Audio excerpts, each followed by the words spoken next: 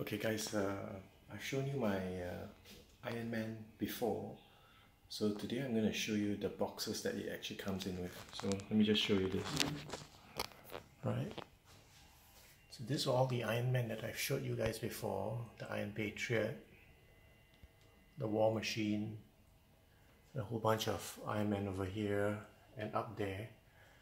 Um, so I wanted to show you the boxes that they actually come with. The boxes that they come with are actually quite nice, right? So I usually buy the hot toys and you can see uh, it's just too nice to throw them away. Now I actually have a lot more boxes but the you know these are probably the nicer boxes.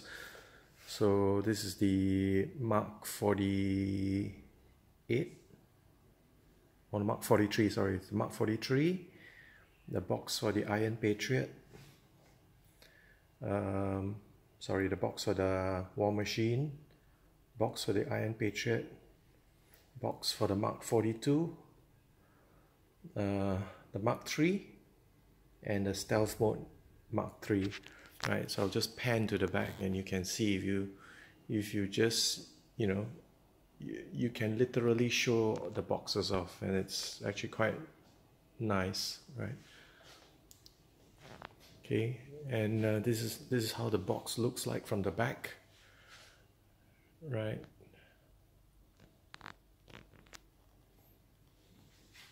So there you go. Uh, these are probably the nicer boxes because uh, these are the uh, die cast boxes right? So you can see it's written down there die cast so hot toys when they make their Iron Man um, they are uh, some of the Iron Man are normal, which is predominantly plastic, but uh, some of the other Iron Man um, come uh, in a die-cast mode. So in die-cast mode, what that means is they use more metal. Um, the toys are a lot more sturdy and uh, heavier, right?